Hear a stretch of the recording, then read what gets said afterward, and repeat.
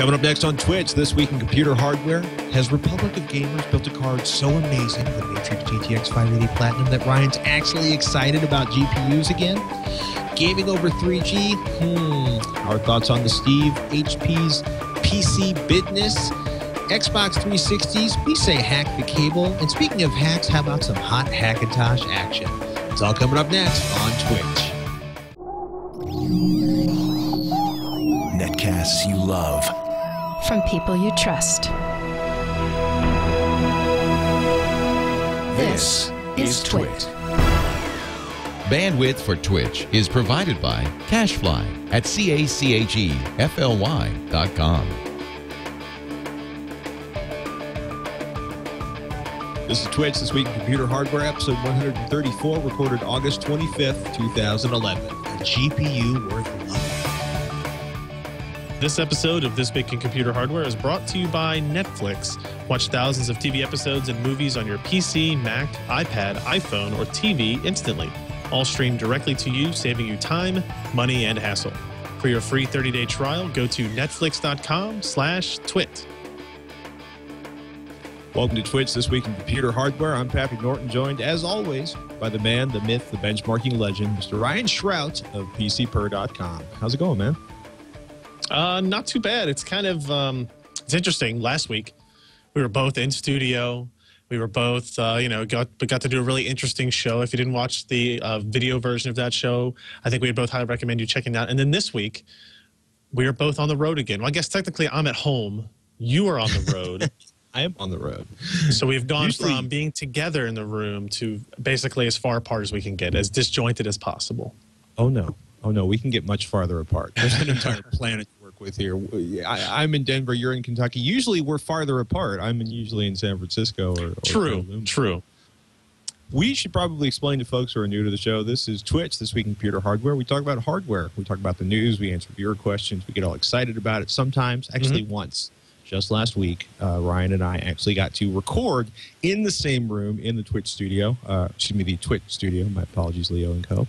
Um, which is actually really fun for us. And uh, It you guys was. have sent us some really cool emails. So thank you so much for all the kind words on that. Um, a lot of stuff going on this week. Uh, hurricane Irene, uh, which my family actually uh, is very close to. You know, a hurricane is serious. My mom is packing up the family and hauling for the other side of New Jersey. Um, so back up your data, and if you didn't back up your data yet, you probably should have. That is a Uh, good Steve. Jobs. Uh, yeah, bring the if you can't bring the computer, just grab the hard drive. Trust me. uh, big news this week, uh, and it's actually uh, people are getting really, really emotional about this, especially tech pundits. Uh, is that Steve Jobs is stepping down uh, as the CEO of Apple, and you know we do cover uh, you know uh, uh, Macintosh OS 10 products here, but we're primarily a, a Windows kind of shop. We do a little bit of the open Right. source, but less you you think Steve is not having influence. Try to remember that there were millions, somewhere upwards of seven to ten million PCs with USB ports before the iMac was introduced, uh, with several actual functioning peripherals, and pretty much invented the USB peripheral market, or, or, or sort of snowballed the USB peripheral market uh, outside of mice and keyboards. Um, the iPod, of course, became synonymous with portable listening to music for the vast majority of the world, or or at least the population of the United States. The iPhone, I think, indirectly spawned Google's Android operating system and a whole lot of open source movement there. Um, Right.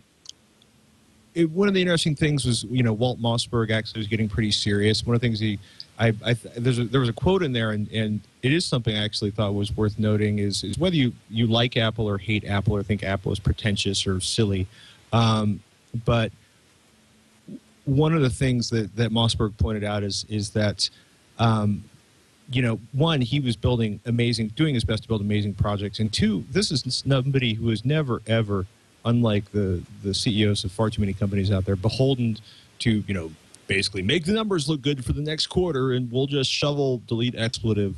Uh, out into the market, um, you know, and, and there's been some epic fails, uh, and, and you know, Sure. from what I've heard, he's an unbelievably difficult human being to work with. Um, but it is a, it is certainly something that has been all over the news uh, this week, and I thought we should probably. It was least- yeah. It was funny. I watched. Uh, somebody linked the first iPod commercial ever uh, on YouTube, and I remember I do remember seeing that when it was first came out, and it's it's almost comical to watch now how uh, innovative and different it was to drag music onto a portable music device. The Right. tagline of a thousand songs in your pocket means basically nothing at this point. Uh, and it, you know, it was a big, bulky, kind of small brick type of device. But you're right. I, I- I do like that point there that not enough companies and CEOs have the the guts to stand up against the shareholders and that kind of deal and say, nope, this is the way we're going to do things, and, and we're not just going to do things the way that that, that the marketer marketeers want us to do and that kind of thing. So uh, you know, I don't think we have to worry about Apple as a company going away. We don't have to worry about their products going away. Uh, if he's still involved with the company at all, uh, I think we'll be pretty good there. So I don't know. I, I, worth mentioning. Not a huge effect, I think, on on the hardware side of things in terms of what we expect going forward. I guess. True dat.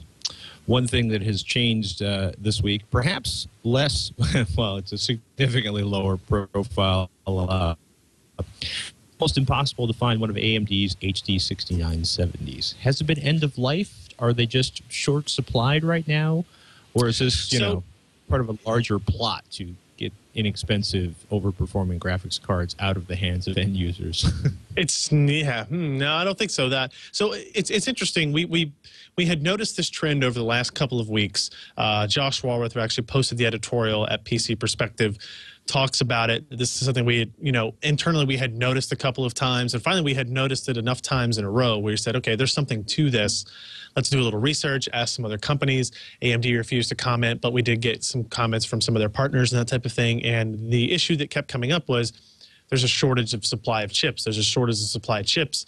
And if you look at, um, so that's the 6970. If you look at the 6990, which is basically a combination of two 6970 chips on, on a single card, you'll notice that those are almost impossible to find and have been forever. So it kind of makes sense. These two are very much related uh, products. So if you if you're having trouble making the single GPU cards that sell much much better than the dual GPU cards, And you're obviously going to use them as much as you can on the single GPU cards. And then i- if you have some left over, you might make some of the 6990s. But the you know one of the reasons you can't find 6990s is kind of trickles down in the 6970. Ironically, the day we posted this story, which actually was yesterday, uh, a handful more showed up at Newegg. I think like four or five different SKUs showed up, whereas when we actually published it the first time, there was only one SKU and there were eight or nine that were out of stock. So there's still there are some in stock and they kind of are hit or miss right now. We're curious how long that's actually going to last. I don't think so there's there's there's a couple of theories. One is all that Bitcoin mining that we've talked about over the last couple of months and how successful AMD GPUs are at it is probably one of the sources of people buying these cards up. Uh, the other one is that there are production problems with TSMC at 40, uh, 40 nanometers. There always have been. And these are just continuing. And as the struggle between NVIDIA and AMD at that foundry increases, right, you know, they're competing for more resources. So, you know, production issues is another one. And also the idea is that they might be planning for something new. They have talked about Northern Islands coming out maybe before the end of the year. So maybe they guessed just a little bit incorrectly and are starting to run out of cards earlier than they had really wanted to. So we're not really sure on that. We're glad to see some more cards in stock today. Although if you're listening to this tomorrow, who knows, right? It, it's kind of one of those things. It's, it hasn't been very consistent. So if you're interested in a 6970, keep your um, eyes open for those when they go on sale. And if you're hesitant about it, you might lose it. The only, I guess, the only kind of good news out of this is prices haven't really been affected by it. You know, they're not like charging 30, 40, 50 dollars more than MSRP for these cards just because they seem to be hard to get a hold of, which is I don't know if that's uh, goodwill on the manufacturer, goodwill on the add-in card vendor, or just like Newegg and Tiger Direct and those guys, or maybe they just don't notice. Nobody's noticed the trend. yeah. So that's that's it was just kind of a little thing we noticed, and we're we're gonna keep an eye on it a little bit closer now and see how much or if it blows up. Speaking of blowing up, uh, uh, I think irritating practices of all time. Intel has returned to one of the most irritating practices of all time: upgrade cards for crippled parts. I'm just going to read the lead graph. It has almost been a complete year since Intel decided to sell $50 upgrade cards for their processors. Ryan noted that the cost of upgrade between the two processors was just $15 at the time, which made the $35 premium over just outright purchasing the higher end CPU seem quite ludicrous. Yeah. It, it, it and expanded their initiative to include three SKUs.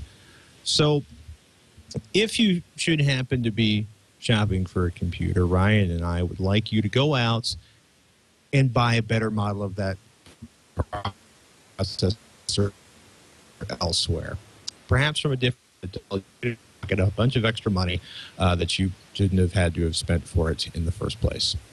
yeah, I Uh, mean the the idea the idea itself. I know when we talked about it last time on the show, drew a lot of both positive and negative feedback in terms of the idea. Obviously, the the fact that the the processors were fifteen dollars difference in prices, but you're paying fifty dollars for that upgrade after the fact was a little bit irritating because of the percentage, you know, upsell basically on that. Um, this time around, if they're if they're a little bit more uh, cost accurate, I'll say, does that change your opinion on whether or not this is a good offering? I mean, we one of the things that's interesting this time around is it's about notebooks, right? And we talk a lot about on the show that notebooks are significantly harder to upgrade. So, is it worth paying a little bit of a premium to get a little extra speed after the fact? One of the things we discussed last night was, you know, Intel already does this when they sell you a, a retail part or, or they sell retail, you know, different SKUs to the OEMs, right? So they might downclock cores that can run faster in order to sell them for the lower price and not, you know, destroy their margin on the other parts. Even though that CPU is capable of running at, I don't know, 2.3, they run it at 2.0 just Right. because they have a buyer for 2.0, but they do not have a buyer for 2.3. So I should just I'm- get I- off my high horse about bin sorting. Well, no, I mean it's it's just like a necessary evil, right? Um, Right. It's you know you don't want to Intel doesn't want to give away free performance, even though obviously that's what we want, that's what enthusiasts want, that's what consumers want. They say, hey, if this part can run at 2.3 at the same power, let it run at 2.3, and Intel goes, whoa, whoa, whoa, uh, how about for 50 bucks? We give it to you for 2.3. So it's it's kind of like for me, and uh, my viewpoint has shifted a little, uh, shifted a little since we first discussed it. Um, that I think it's not a huge deal as long as they're not ripping people off. It's not a bad feature to offer if they're not ripping people off. Yeah, I, I, I. If they're not ripping people off, I think it's great. I mean, on the other hand, you know, uh, uh, props to Intel for figuring out a really clever way to generate some additional revenue. Just what they need, right? Just what they need. Have enough in the war chest.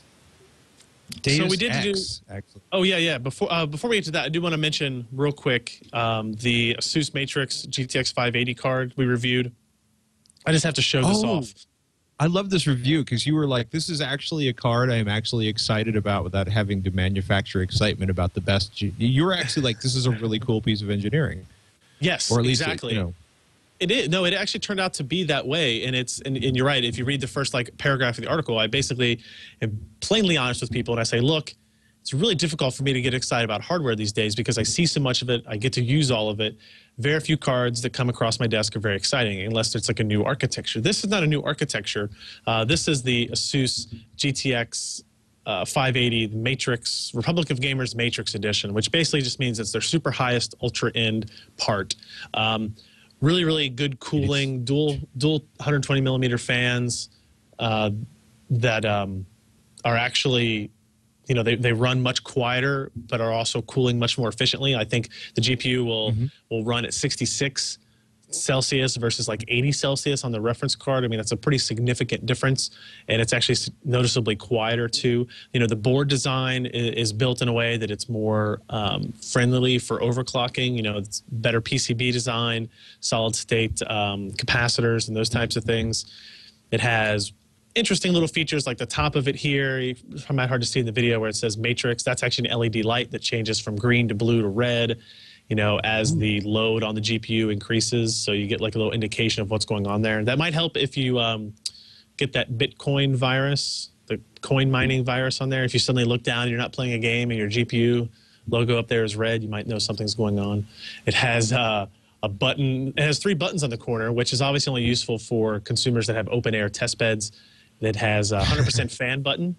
So if you push that, the fans run 100% all the time. And it has plus and minus buttons, which are not for the core frequency, which I think is, I think is what they should have been, but they're for voltage adjustments. So you can Oh, adjust the voltage on the on the GPU core up and down based on that. So it's a really cool piece of engineering. It's only about 50 or 60 dollars more than a reference GTX 580. Uh, so that's that's a noticeable amount. But if you're paying, if you're looking for the highest end single GPU graphics card anyway, uh, sixty dollars. You know, so you're going from five from 460 to 520. So it doesn't seem like as big a jump. Then when you talk about it, here's the downside to the card, and it's a, it's a little bit kind of bothersome to me. The the out of box overclock on this card is only 44 megahertz. It goes from 772 to 816, I believe, is is is the overclock. The GPU is capable of way more than that. We I got it up to 975 megahertz or 950 megahertz, really without blinking an eye, only using the included ASUS software. So that it, it's capable of much more, but in order to to to bend the processors or to bend the GPUs in a way um, that you know they could sell a lot of these and and be contained within the power requirements they need to be in order to sell at the default settings. They they kept the the reference their reference clock to 816, even though I think hitting 875 or 900 probably would have been a pretty easy step for them. So Right. it's kind of one of those things. If you're not going to overclock, even with software, don't buy this card. But if you want to overclock, and I think if you're looking at a GTX 580 or, or even like a you know highly engineered GTX 580, I guess I'll say, then overclocking is probably what you're going to do. I don't know. Do you have any thoughts on that? I mean, do you think it is a downside that they would not increase the performance out of the box, or do you think anybody that's going to buy a card like this is going to do that themselves anyway? anybody who's going to buy that card and finds the plus and minus buttons and, and figure you know and goes through the manual and RTFMs and, and figures out that they're for the voltage Right. and not for the clock speed, I'm pretty sure they're going to you know overclock on their own. I, I wonder if they're worried about you know uh, going back to bin sorting if they're worried about variations like if if they didn't feel like you get enough parts to overclock to a particular level. Or on some level, maybe Yeah. I think they just wanted to end users do it themselves. I thought it was kind of funny because I, I, voltage I do think seemed odd, but even better would have been both voltage and uh, frequency. Probably would get really messy really quickly. Probably. And uh, just before before we move on to the next thing, there was another. There's a, there's a, a review of a card that's going to go up. If you're if you've downloaded this and you're watching it, uh, this review is already live. If you're watching this live, the review won't be up until midnight Eastern time. Um, so this was this is the Matrix, right? This is a GTX 580 Matrix. I want you to see this just for reference. And then the card that will be reviewed later tonight is this and uh, it's significantly larger than any graphics card we've ever tested before. And uh, it's a dual GPU, dual GTX 580 card. So it's two of these GPUs in one card. It's really hard for me to get that in the frame right there. Um, so this, I can't really talk about it much anyway. It's a dual GTX 580 card. They've already shown it. They showed it at Computex and that kind of thing. Uh, but we're going to have benchmark numbers, power consumption numbers you're going to want to see for a card like this. And uh, yeah, a lot of other interesting things about this card. I mean, look at the look at the size of the of where the bracket stops and the car just keeps going over it. It's when you first held it up, I thought it was a a, a, a, uh, like a micro a mini AT or excuse me a mini ITX. Yes. That's a really cool GPU. It's not like a mini server. I'm confused. Um, It is two GPUs rated about 600 watts, so be prepared for that. that is a lot of wattage. I we have, uh, uh, there's three three stores I think are um, and I'm just going to say think about PC gaming, think about the change, the the sort of terminal chase for more expensive hardware, the sort of crisis effect. Can we build a game that cripples not only this year's uh, GPUs uh, but next year's? Um, you guys did a really good write up from the HardOCP Hard OCB preview of Deus Ex, where they talk about um, performance on cards costing less than two hundred fifty dollars, actually looking gorgeous.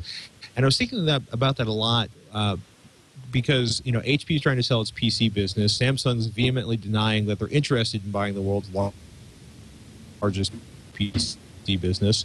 Uh, Right. billion last quarter, which is a huge amount of money. And I know, you know, Intel's making money hand over fist selling CPUs, but what's happening to the PC business, or is it just much more stable than it sounds like based on the stories this week? And So I, I, I, the reason I also bring up gaming is I also I also think sometimes PC gamers get kind of short shrifted uh, because of the chase for better hardware.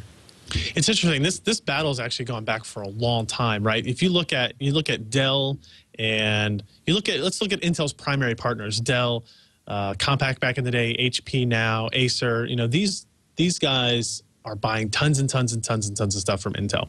Intel's making three plus billion dollars a quarter. They have really really good uh, margins on that. You know they're talking forty percent or above margins on income. You look at Dell wouldn't they love to have 40% margins on anything that they're doing other except like the super high end enterprise stuff it, it's one of those arguments that pc builders have always had of hey intel it's time you know you you can't survive without us right? You you don't sell anything. You don't sell very much directly to the consumer right? Diyers aren't a big percentage of stuff. You you wouldn't survive without us. We were struggling. This is back when you know dell was really struggling and, and the Compaq hp merger before all that happened. People really wanted intel to kind of feed some of that goodwill back down the pipeline. It never really happened. The business kind of caught up. PCs were slightly profitable again. The mobile, the fact that people were buying notebooks again, notebooks had much higher margins than desktops did. But now notebooks are so saturated that the margins on those have come back down, and we're kind of come full circle again, where you know one and two percent margins is what these guys are dealing with. Um, and I think it's interesting, and if you look at what you know who was it? Uh, who bought Alienware? Dell bought Alienware. HP bought Voodoo PC. And the reasons they, they wanted to do this is PC gaming was much higher margin than just your basic PC sale. So Right.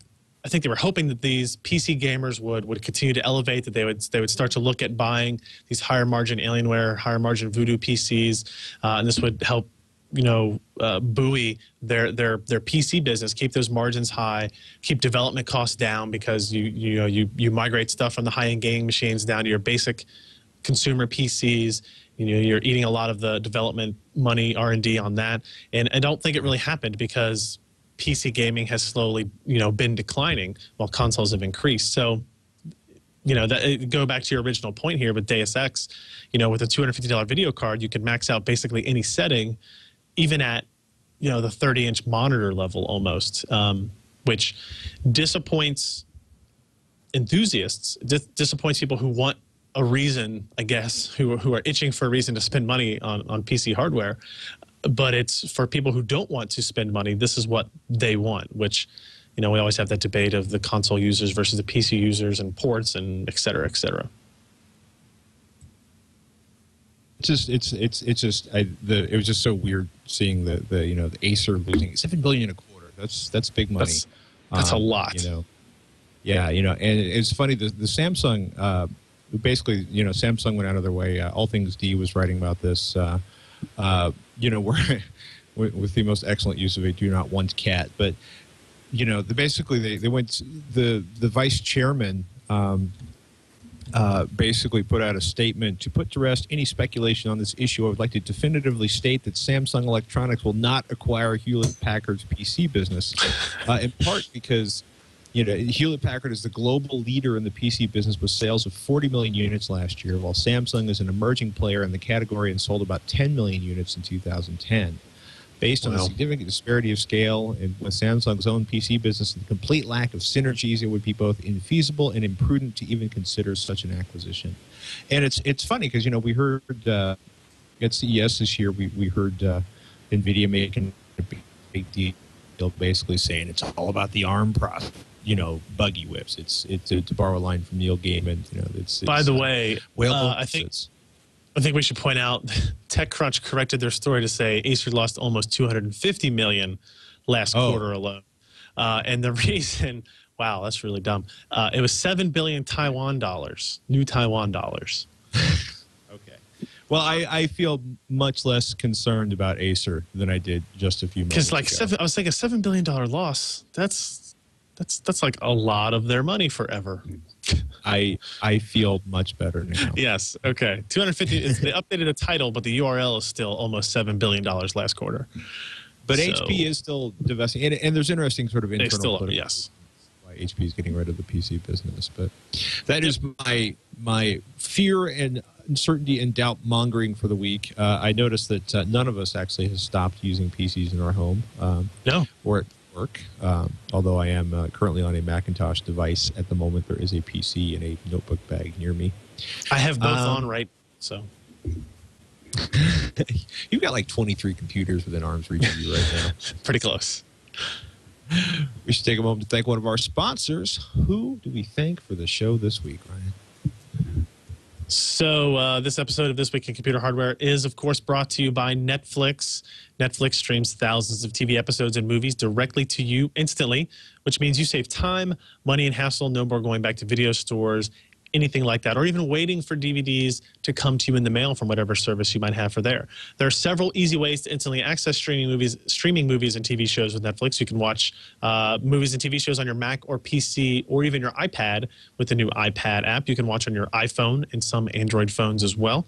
You can have a game if you have a gaming console like a 360, PS3, or even a Nintendo Wii. You can watch Netflix right on your TV that way. And even even if you're not a gamer, there are still devices that will help you do that, like the Roku box or the Apple TV. With Netflix, you can watch movies and TV shows instantly using any of those devices, and you can begin watching begin watching a movie or show anything that's on Netflix streaming on one device and finish it on a different one. It keeps track of where you stop playing, which is actually really cool. You can be um, whichever way you decide to actually access Netflix, you can watch as many movies and as TV shows as you want, as many times as you want. If you're like Patrick and you like to rewatch things, not going to be charged extra for that. You want to get all the details. No, no extra charges as many times as you want to want, and you can cancel at any time if for whatever reason you don't like the service. Try Netflix today for 30 days completely free. Go to netflix.com slash twit. Be sure to use that URL when you sign up for the free trial, please. Netflix.com slash twit. We thank Netflix for their support of This Week in Computer Hardware, and we hope you enjoy watching instantly with Netflix. You want to get I to know. some emails now? Absolutely. Uh, Greg says he's got an old PC tower laying around, and he's thinking about building his own Hackintosh for some time. He says he's recently purchased a copy of the Snow Leopard box set that comes with iLife and iWork. He's now working on a list of hardware he thinks would work. So far on the list, I have an Intel Core i3 2100 Sandy Bridge 3.1 gigahertz dual core processor with a Gigabyte GA Z68A D3HBX ATX motherboard, along with a Galaxy GeForce GT430 video card. He's going to be doing some light design work and photo editing, but mostly everyday tasks, web surfing, and light gaming. Minecraft. Page and feel that these components would be a good starting point with room to upgrade in the future, but wanted to get your thoughts and opinions first. Any suggestions? Thanks, guys. Awesome show, and keep on keeping on. We will do our best, Greg. Um, if you have not seen it, uh, uh, uh, my my, uh, my producer and, and partner in crime on Techzilla, um, along with Veronica and and and and uh, Robert and Serafina is uh, Roger Chang, and he started talking about doing a Hackintosh build, which got kind of an insane response from the audience. So he is in the process of building one, and he introduced me to TonyMacX86.com.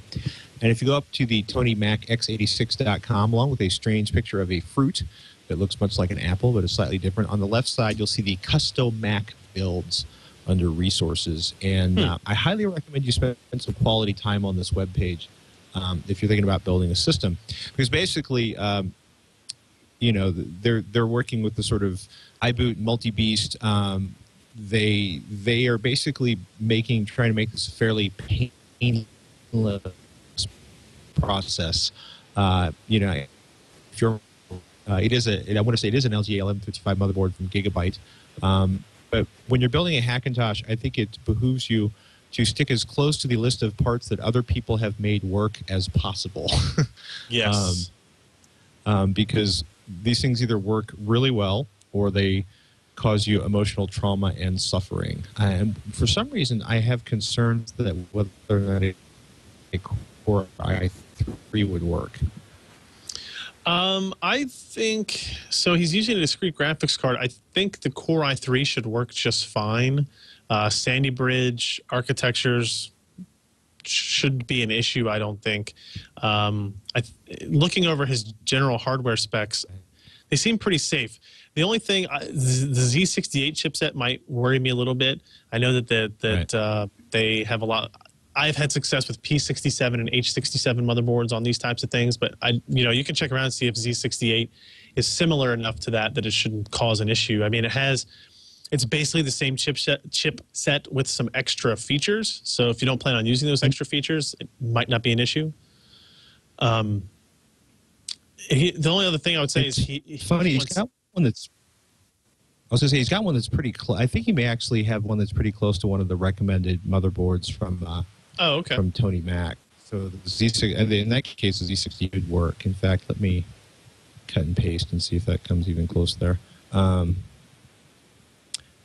uh, so this, he's got the UD2H versus the D3. Okay, um, man, it should be. Well, it sounds like Z68 will definitely work. Okay. Um, I mean, that's the thing is if you're if you're getting prepared for just be prepared for some things to not work, right? If you want FireWire support, like if you're if you need something specific like that, then you need to those are things you need to triple check that the chip on that motherboard is compatible, right? Because even though it uses the same Z68 chipset, the FireWire controller is going to be different um, motherboard to motherboard. The only other thing I would say is he he asks about um, being able to upgrade down the road, and I would never plan on doing that with uh, a Hackintosh because that all depends on what hardware Apple wants to put in their system down the road, and if they will add support for that hardware into the the operating system, essentially. I mean, in, in memories, hard drives, possibly GPUs. Memory and hard Yeah. drives will definitely upgrade. Uh, GPUs, we hope you'll be able to upgrade. I haven't, you know, gosh, I haven't really tried that. Um, No, I have not either. I'm going to wait till Roger builds his Hackintosh. Then There I'll you go. Drop a new GPU in it. We'll see what happens.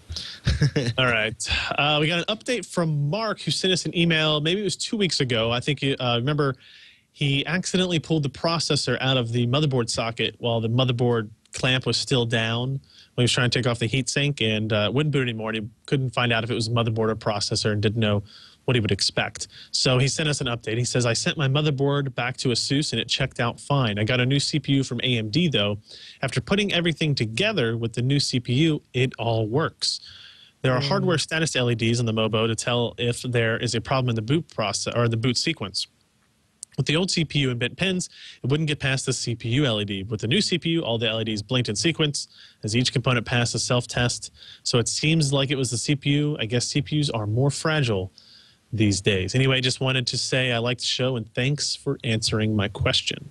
That's good news. So it sounds like uh, AMD even replaced his processor for free, which is pretty nice of them. That's pretty awesome. Um, it's always nice also when your motherboard isn't dead after a, after a CPU glitch. Um, I don't know if CPUs are that much more fragile. I, I think just sometimes you get lucky and short out Yeah. the pins. You know, it's it's Yeah. interesting. AMD is still using the in, the in their consumer line processors with pens. Remember, Intel Intel's processors don't have pins on them anymore. They have the pads, and the Right. pins actually exist on the motherboard itself. And the motherboard manufacturers, I remember when this was first happening, were really upset about it because it, it's gonna it would they knew it was gonna spike up their RMA rates, their you know troubleshooting and, and and return rates and that kind of stuff while it was lowering Intel's. Just another way Intel, maybe not on purpose, probably on purpose, figured out a way to pass on some of the costs of doing business to their to their partners uh, than necessarily doing it themselves. So Them's that got the gold makes the rules, Ryan. exactly, exactly. Cruel lesson taught by history. Also, a cruel lesson taught by history Xbox cables are designed to make you pay more money and suffer. Pete uh, wants to say that last week's episode, number 133, was excellent. I wish Ryan and Patrick could always find handy reasons to make it up to the Brick Twit house on each TWiCH day. I love that despite the amazing set cameras and switching, it doesn't get overproduced. The relaxed atmosphere and Leo wandering in to talk about the spy satellite perspective camera make it feel like a really interesting conversation more than anything else. And I think that's actually kind of our goal is to, to have something you'd like to be hanging out with and listening Yeah. to and, and participating in. Um, I'd also like to point out for people who don't realize it, that was actually, I guess that was we had we had met at CES, but that was the first time we've ever actually had a chance to do a, a TWiCH at the same time. Mhm. Yeah. Um, it was just- see- it was- See how well we got along, no fighting or anything like that. It's nice. Yeah, well, they sedated us before.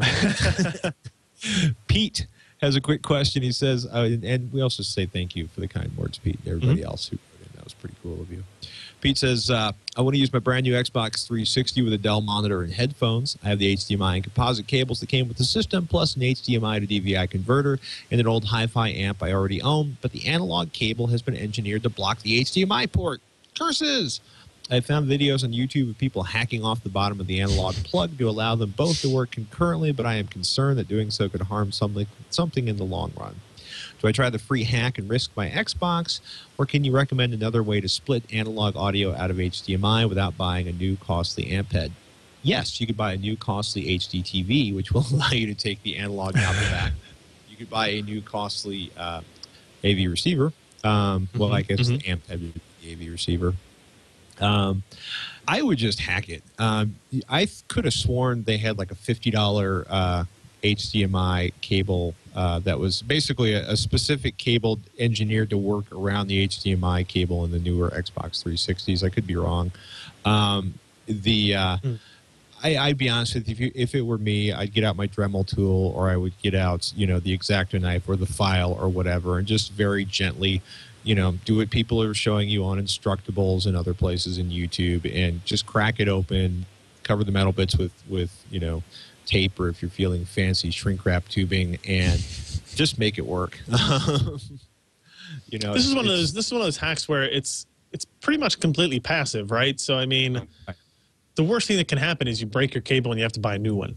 You're not. I don't think you're going to harm the 360. You might harm your wallet a little bit because Xbox cables aren't usually cheap, but uh, I don't think you're going to break anything.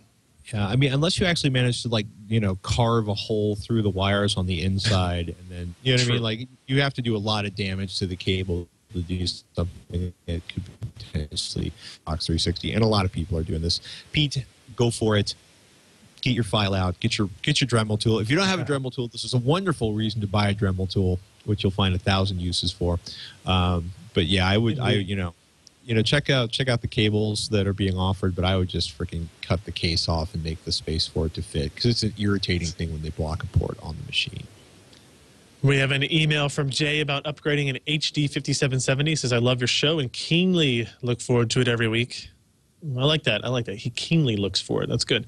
Uh, I had a question. I custom built my PC about two years back when the ATI 5000 series cards came out. Was a Core i7 920, Asus P6T motherboard, Radeon HD 5770, obviously. I specifically chose the 5770 because of its low power consumption. Now, I find that some of the games I play are struggling a bit, so I wish to upgrade the graphics processing power of this PC.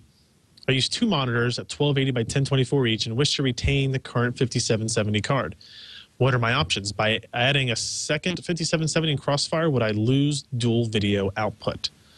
Well, Jay, um, no. If you if you add another 5770 to your system, you'll get Crossfire. You'll get scaling anywhere from um, 30% to 75%, depending on the game. You do not lose the capability to do dual video output uh, in any in any case. Um, if you're running Crossfire, you can only use the outputs from one card, which if you've already got two monitors hooked up to your 50, to your 5770, you don't have to worry about that, right? So the only thing that's kind of a bummer there is you can't use the display outputs on the secondary card once it's configured in Crossfire. If you weren't using Crossfire, you could use all the display outputs on all of the cards in your system. But whenever you're using multi-GPU rendering, you're kind of limited to the outputs on one card. Um, Another option other than that would be obviously to move up to the 6000 series. I think um, you could. I think looking at a 6850 or 6870 would be a good option.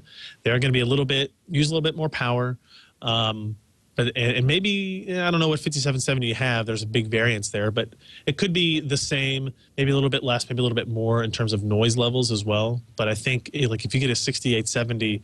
Um, you're going to see a pretty dramatic increase in performance over the 5770 and i think even over the 5770s in crossfire you can get a 6870s for around um, looks like $189, $179, and that kind of stuff. Uh, some looks like a couple of them are come with free games, free copy of Shogun, free copy of Dirt 3, something like that. So that's another option I would look at. That's kind of in a similar budget. I don't even know. Let me let me double check here on the 5770s. Those are about $120, $140. So we're not paying much more to move up to a 6870. So um, yeah, I mean, those those are a couple of options I keep in mind, and the 6870s will completely support the same two displays, uh, and they'll support three displays just like the five the 5000 series did as well. So, if you're looking for a couple of recommendations, there you go. There you. Scott's got an email about a home. Well, basically, if you're thinking about building a FreeNAS, Scott says, Thanks for the recommendations and research. But after finding a Twitter response on Pound FreeNAS, I found a recommendation for the HP N36L, which bears a distinct resemblance. Uh, it looks like a cousin to one of the. Uh, uh, to the Windows Home server boxes. A distant cousin, Yeah. mind you, but a cousin nonetheless. he says, This is exactly, Scott says, what I was looking for a small box I could fill with large, cheap drives from Central Computer. Viva la ZFS, which is an awesome, awesome, awesome, awesome, awesome thing to be able to do. The N36L is very quiet, works great with FreeNAS 8. Does not come with a CD-ROM, but it does have an eSATA port in the back, so no NAS expansion. Or excuse me, so NAS or network attached storage expansion should be very easy. Yeah, actually, uh, that's like the one thing I like about eSATA is inexpensive external drive cages where you can plug uh, several um, SATA hard drives into it and then plug it. Yeah, that's true. The, the, the trick though in that case is like making sure that the external NAS box or the or the, the expansion box, the eSATA expansion box, never gets moved and no one ever touches the cable. In the case where things happen to uh, RAID arrays, and it, I should also point out that I do not hate RAID. We got a really great uh, email um, Oh, right. that I'm not going to be able to get the show. But motherboard, I absolutely despise. But there are many flavors of RAID I think are freaking fabulous and belong in your home or corporate environment. So, lest people think I am completely hating on the RAID, uh, I am not. uh, but uh, Scott says, by the way, FreeNAS 8 has been great. With a little tweaking, I am getting 80 megabytes per second write throughput on a RAID Z1 and over 100 megabytes per second read throughput. That is pretty awesome. Thank you. Yeah, I don't know if you noticed that, that this case is actually a system, Yeah. Right? I mean, for It's so a it's three, it's AMD 329 bucks. 2. Yeah, Athlon 2 Neo. So it's it's like Atom level type performance, maybe a little bit above Atom level performance. So nothing super exciting there. Uh, but for you know running RAID essentially as its only job and network transfer, it's obviously more than capable of it. If he's saying he's getting 80 megs per second, 100 megs per second in different instances, you know, one Yeah. gig of memory.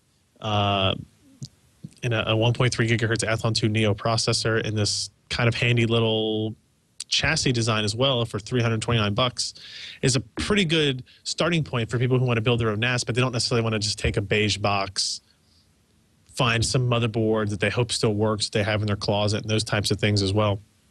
So this is one of the questions we get a lot about. You know, I want to build a, my own NAS. This is a good place to start. Yeah, I, I thought it was kind of interesting that it even comes with a, uh 160 gigabyte hard drive on board. Um, so you basically really? have the, the foundation. According to the specs, I was reading through the specs Okay. because I was trying to figure out actually how many hard drives it supports um, inside. Um, but that's an interesting box and cheap too, actually. Um, considering Yeah. my Core i5, you know, rendering machine build rapidly spiraled out of control. I guess we sale from our friends at Central Computer. The pain adds up. um, do you want to talk about Hunter's uh, 3G question? Absolutely. Um, Connor wants to, he says he's started hosting LAN parties recently, which is awesome. Good for you, buddy. We like to see PC gaming growing again.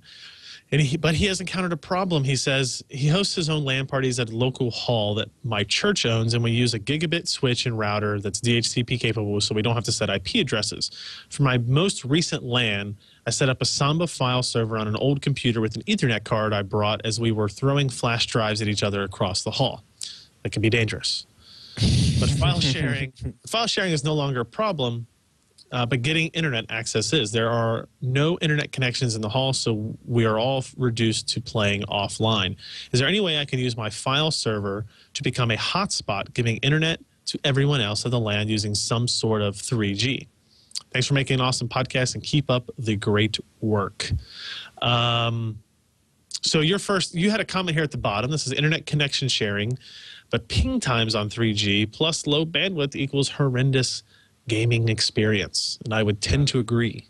Yeah, I'm kind of laughing because I'm literally um, there are three uh, 4G wireless uh, hotspots within uh, a few steps of me right now. Um, one from T-Mobile, one from Verizon, one from Sprint, and uh, yeah, the, the, it's it.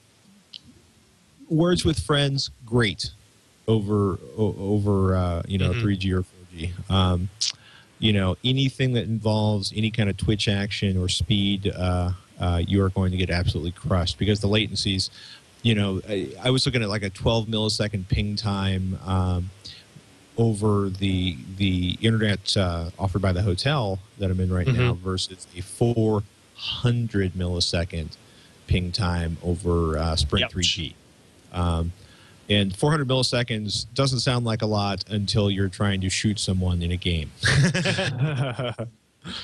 And then it is a very very long time. You know if you just wanted to Yeah. be able to do you know email or you know im or basic stuff like that while you were gaming yeah the 3g modem would work fine. There's a bunch of different ways to share it. Most of the hotspots are, are, are limited to about five clients but you could connect a computer then do internet connection sharing. Um, if you do do that especially if you are paying for the 3g connection watch yourself um, on overage charges um, T-Mobile will basically uh, throttle you down, uh, which they don't cut you off, but you're not going to be getting, you're not going to be like downloading large files. You basically once you hit the cap, they have the ability to, to throttle your to your file uh, your your download performance, right?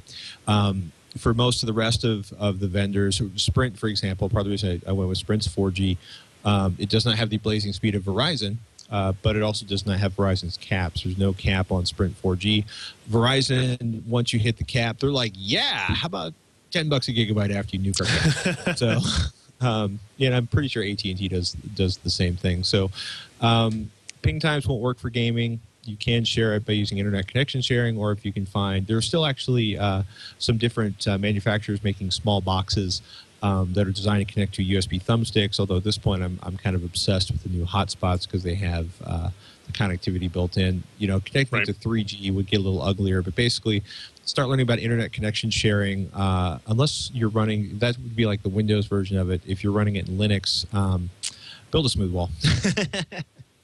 this is this is a this is one of the you know this is one of the things that can happen when PC game developers take things like that running being able to run dedicated uh, servers out of their games, right? So you, you don't have that capability to game LAN only on a lot of titles anymore, um, which which is kind of a disappointment. That's what I grew up on. That's what I knew of. You didn't have to be on the internet, obviously, uh, to, to to play games against people on a LAN which is kind of disappointing because you know you go to LAN parties like I was at QuakeCon, you still have to play online if you want to play StarCraft two, if you want to play uh, any of the uh, um, the kind of three quarter isometric games, um, the dungeon hunting games, and those types of things. That you know they all require an internet connection of some kind, even if only to kind of like ping in and, and say yes, we're ready to play. So hopefully we, I don't I don't think we'll see a return to that. I think they're counting on more people having high speed internet access than not. So uh, maybe another recommendation: find somebody nearby that has internet and buy a 200 foot Ethernet cable. borrow? Can I borrow a cup of internet? I, Yes, I think- ask first, but yes. Yeah, I think PC. Uh, I think PC game members, excuse me, PC game makers would prefer to have you log in each and every single time you try to touch their game. Absolutely. Uh, um, should we should we do one more GPU upgrade, or should we hold that for next week? Uh, let, this will be simple. I think we can do this one. Let's. Uh, we'll answer Matt's question before we go. Matt said, I'm getting a new video card soon. I'm replacing an E EVGA GTX 260, but with so many options out there, I'm getting a little overwhelmed. Matt, I know how you feel. First, my processor, AMD 965 Black, 125 wa- watts, running at a stock 3.2 gigahertz. RAM, 8 gigs of G.Skill, 1600 megahertz, probably running at 1333 due to the processor. GPU, EVGA GTX 260, PSU, Thermaltake 700 watt, Mobo, Gigabyte AM3 Plus AM3 board with one PCI 16X, SLI with 16X 8X, our uh, operating system Windows 7 64 bit. So now I get to my options. I've been trying to decide between Radeon and NVIDIA. I've read that NVIDIA is better for physics and DX11 tessellation, so I ruled out Radeon. If I absolutely needed to, I could spend between 300 and 350, but I'd rather not spend that much if the performance gain isn't noticeable or likely to last me longer. I'm trying to decide if buying a GTX 560 or 570 is the better option. In buying a 560, I could save about 100 bucks in SLI later if I wanted, but if 570 would get me better frame rates and higher settings, then maybe the $100 is worth it. Furthermore, hmm. I'm not sure if the 570 is appropriate given my older processor. Without making this any longer, here's where I'm getting stuck. When I look at the specs for either the 560 or the 570, I've noticed the 570 has more processor cores, roughly 100, but the core shader memory clocks in the 560 are all higher. Why is this? Will the extra 200, excuse me, will the extra 100 processor cores make a huge difference? And three, what performance hit does a 16x 8x SLI suffer over a 16x 60x SLI? Yeah. so there's there's a lot of there's a lot in there. First thing I will say, he read that NVIDIA is better for physics and DX11 tessellation, so I wrote out Radeon. That's not a good way to cut off 50% of your choices. But if, if you're going to do that anyway, it kind of helps limit what your options are if he was talking about being overwhelmed with the options. So PhysX, P-H-Y-S-X, is a custom NVIDIA owned uh, physics API that will be accelerated on GPUs. I think Batman Arkham Asylum used it. Batman Arkham City is going to use it. Not a whole lot of games really require say, it. There's like there's like a game that uses it.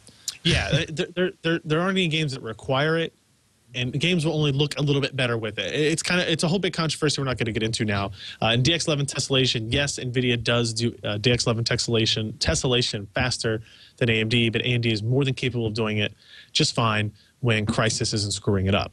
So back to his question about the 560 or the 570. So he noticed that the 570 has 100 uh, stream processors, 100 CUDA cores more than the 560, but the clocks in the 560s are higher. This does make sense if, if you think about the architectures are very, very similar.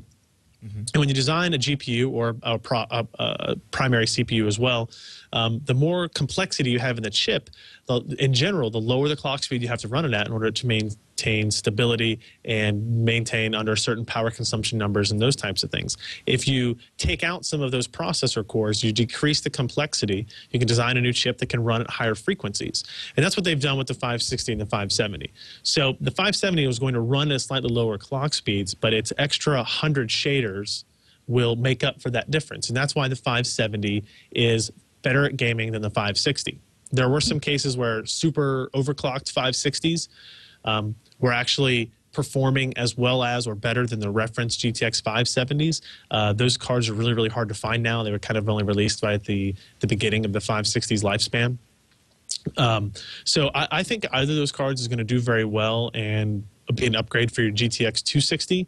I'd lean towards the 570 uh, if I were you, if you're in that safety budget of three to 350. And I don't think you have to worry about what the 560s clock speeds are versus anything. Um, most of the time, I don't want to say all the time, but most of the time, these graphics card companies want to keep things simple. That's why they have these obnoxious numbering systems 550, 560, 570, 580, 590.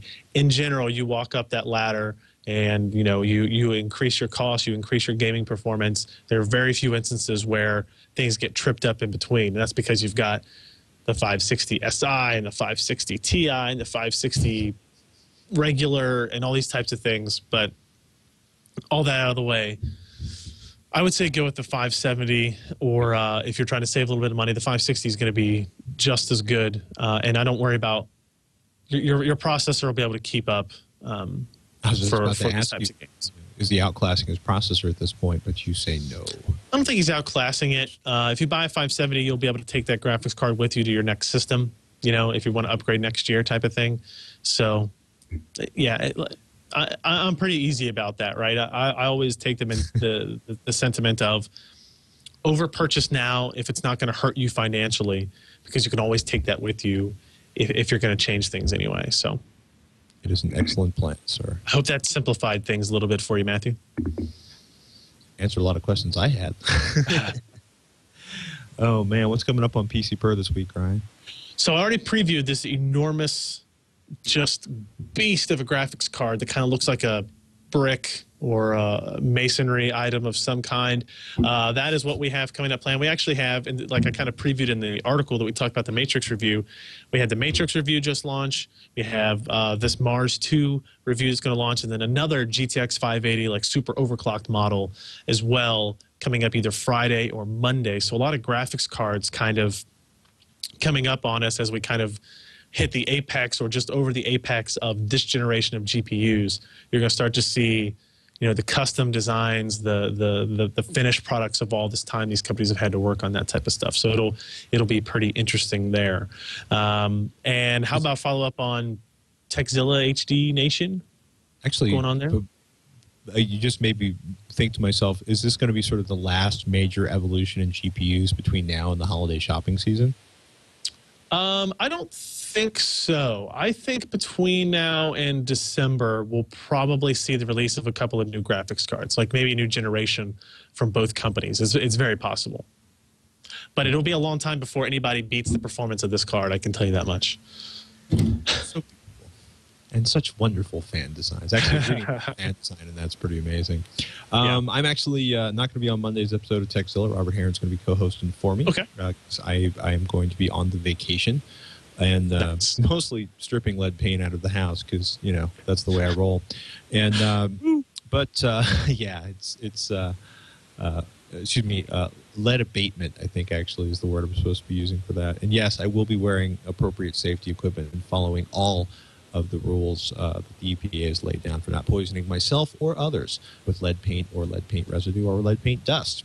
Good, Now good. I've talked about lead abatement, um, I'm not sure if we're going to be. I, I think I may actually have the Pioneer AppRadio review done for Wednesday's Tekzilla, and I'm also working on a. Because I've gotten a lot of questions recently about now that the the Logitech Revue has dropped down to ninety nine dollars. How do we feel about how that compares to the Roku two and uh, the Apple TV, and of course the Boxee Box, and there are about three thousand other options out there. So I've been trying to figure out a way to talk about all of the major features from these, and and also kind of hoping that you know Google suddenly releases a, a massive Google TV upgrade because I know as soon as if I don't wait for Google to do the massive upgrade, they will release it like the day uh, the review hit the street. so I'm Okay, little- yeah. you know what I mean? You you've had the, the, the I'm surely you've had that that that moment where you're like, really? You announced that today? You could have announced that yesterday, and I could have rewritten the article then. I have a lot of those, yes. The pain, the agony, the hardware people. That's what we bring to you every week on TWiCH, TWiCH at twit.tv. Uh, that's the one way to get a hold of Ryan and myself. Or you can Mhm. hit us on the Twitter at Ryan Shrout and at Patrick Norton. Uh, thanks to everybody for listening to the show. I'm Patrick Norton. I'm Ryan Shrout. See you next week on TWiCH.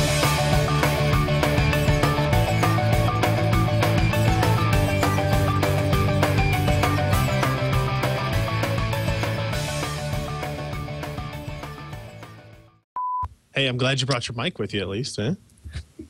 Hey, you, have, have you seen the exciting mic stand I put together? Because I don't have uh, my mic stand with me.